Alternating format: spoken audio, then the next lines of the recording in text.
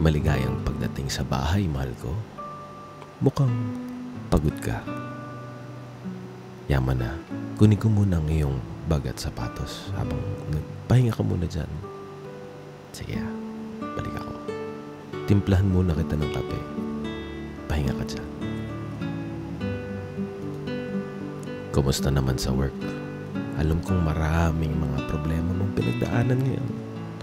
Eto, pahinga ka sandali. Massage ko muna yung mga balikat. Yan. Oh, stress na stress ka. Huwag mo na isipin yun, nandito ka na. Hindi naman kailangan iuwi ang mga problema at tra- trabaho mo, di ba? Hmm, ka lang dyan. Alam mo naman dahil mahal kita. Gusto ko lang makitang masaya ka parate. Alam kong hindi madali ang yung ginagawa.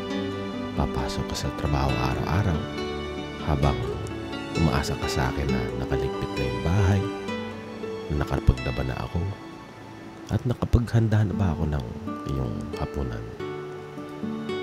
Nga pala, sige, nood ka muna dyan ng Netflix.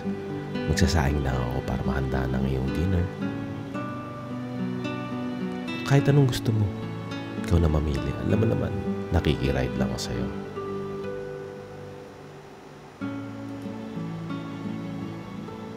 Ha? Nagtataka ka parati kung bakit ako nangiti tuwing nakikita kita. Eh, akala ko alam mo na yung sagot dun. Ang ganda mo talaga. Parang nakakalimutan ko ang lahat ng aking mga problema kapag nakikita kita.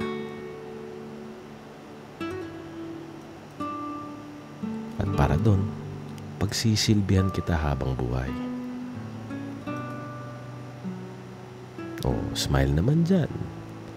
Kasi sa umaga, ikaw yung dahilan kung bakit masarap yung gising ko sa umaga. Diba? Amoyin ko lang yung kiligili mo. Parang kape na. Gising na gising yung diwa ko.